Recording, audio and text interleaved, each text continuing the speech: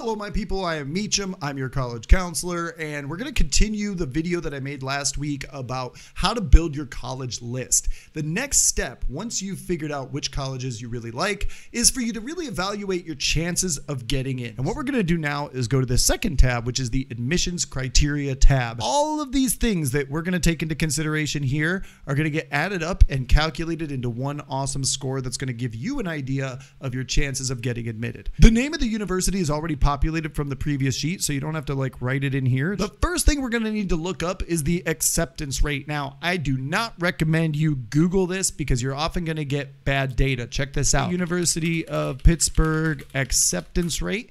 I'm going to get a number that says 66.7%, which seems really, really good until you look at the actual data and realize that this number is way off. Where do we get the actual data? We need to look for the common data set. The most recent one is for the students that entered in 2022 and they report that data in 2023. That's why it's numbered like this. We're going to go straight to section C of the common data set. This is the data that tells us how many people were admitted, how many people applied, how many people actually enrolled. And what we really want to figure out is the acceptance rate, which is these two numbers here. So if I get my calculator out, 2,679 divided by 53,072, it looks like it's a 49.1% acceptance rate. That is much lower than what Google said. And it's really important that we have accurate data here for this. For the test policy, for example, we can actually find that out by scrolling down a little bit further. So that's perfect. It is indeed a test optional university. What's the percent of the people that were?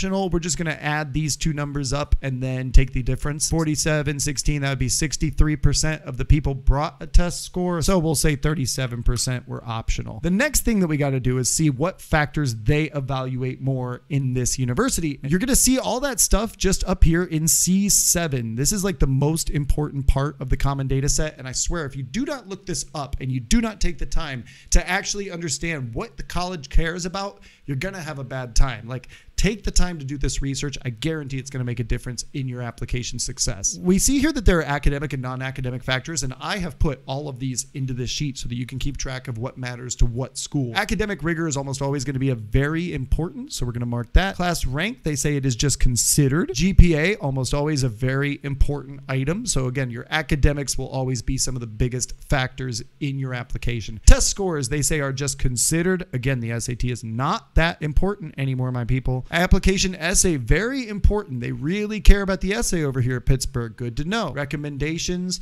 considered. Now we're getting into some of the non academic factors. Interview, I don't even see it here. What's it say? It says not considered. They don't consider the interview. Uh, extracurricular activities are just considered, not the most important factor over here at Pitt. We got talent and ability. If you've got special talents and abilities, good for you because that's important here at Pitt. And so is character and personal qualities. First generation is just considered. Uh, volunteering, you'll notice, is considered important down here. Work experience, also important. If you've got some work experience, they like to see that over there, which is interesting. Demonstrated interest, one of the most important and least considered variables. There's going to be videos about each of these things in the future, so make sure you're subscribed. Uh, we're going to talk about how to demonstrate interest in a future episode. Uh, alumni relation, that's like if your parents or like a brother or sister attend the university, also known as legacy admissions. They say that's not considered good for you, Pitt. That shouldn't matter. Residence, so geographical residence and state residency. Obviously, if you live in the state of Pennsylvania for a U.S. Pennsylvania public university, that would be something they would consider. Obviously, they would probably prioritize the people that are in the same state. There's also a religious factor which is considered, and the last thing is race or ethnic status. That's probably going to disappear from all college applications very soon with the Supreme Court made a video about that that a bunch of Russians invaded just to suppress it. So if you want to actually watch that video and help me recover from the Russian invasion, you can go ahead and do that. There's a thingy in the corner of the video up here for you to click that if you want Now, you will see here that my awesome Excel sheet is starting to provide a score, your odds of admission here. Now, I want to make a point here that this is not a perfect scientific method. Universities can evaluate things in different ways. This is just to give you a rough idea, a general idea of your chances, okay? So in order to do that, we have to have like a rating for yourself, and we're going to put that in up here. I'm going to put the CDS away and expand this out for you so you can see a little better. The self-rating, all right? We're going to rate from 1 to 5, and it's very simple. If you if you really think like you're excellent in these categories, you're one of the top 10% of applicants, you you're just amazing. Go ahead and put a 5 in here for yourself, okay? If you're like really solid, top you know 75% or above, but maybe you're not that top tier, S tier, top 10% kind of person, a four would be good. Three is like, hey, I'm a little bit better than average, but I'm nothing like special, nothing wow in this category. Two would be maybe I'm below average in this category. And one could be like, I got nothing for you. Be honest with yourself. Obviously, this is not a perfect science. You can also use some decimals if you want. If I were to rate myself, right, just being honest, my academic rigor was horrible. I was homeschooled and I took a lot of easy courses. Two is probably even generous for myself. Class rank, then I also would say that I was very low in that regard. My GPA, though, wasn't bad. I actually had a pretty good GPA all in all because I took such easy courses. So there's that. So I'll put myself as a four. Uh, test scores, I would just say that would be a onesie because I didn't even really do those. Essays, I'm a really good writer. I'm gonna I'm gonna say I give myself a five on my essays. Rec letters, I think I had pretty solid stuff. I had teachers that liked me at least. So there's that. Interviews, are you good at interviews? I think I'm pretty awesome at interviews. Oh, extracurricular activities, I was somewhere in the middle of the road here. I wasn't amazing. Talent or ability, I don't consider myself a very talented person. I'm gonna say I'm below average. Character, you know, I think I'm a pretty decent dude. I'll give myself a four. I'm, you know, would a would a five really give themselves a five? Uh, first gen for this one, I left a little comment here. Just put five or zero. It's either it's either you are first generation or you're not, and I am. My parents did not complete college, um, nor did my grandparents. like nobody in my family ever did. Volunteering, I, I didn't do much of that to be honest. A little bit, a little bit, but probably below average. Work experience though, I worked a lot when I was a teenager, so I got a lot of work experiences that I could talk about. And demonstrating interest, this is something where you need to make sure you put a lot of effort, and I know I do. These are other categories that are specific to the university. So it doesn't really make sense to have a self rating here because you would have to like redo this for each college. You know? What would be like a good score for religion? Well, that depends. Does the university have a religious affiliation? Are you in the same one? That would be good. A state residence, either you are a resident of that state or you're not. So if you're comparing universities from different states, like you wouldn't be able to put a single score. For these categories, what I've done is just kind of created a little space for you to make an adjustment. You could add some points or take away some points depending on how you feel you match up with some of these other factors. Again, these are never going to be like the main factors. These are always going to be smaller factors in the grander scheme of things. So don't worry about them too much. At the end, you will see that it has spit out a score of 47.5. And so the hypothetical maximum that we could get from our scores, if I had like fives across the board,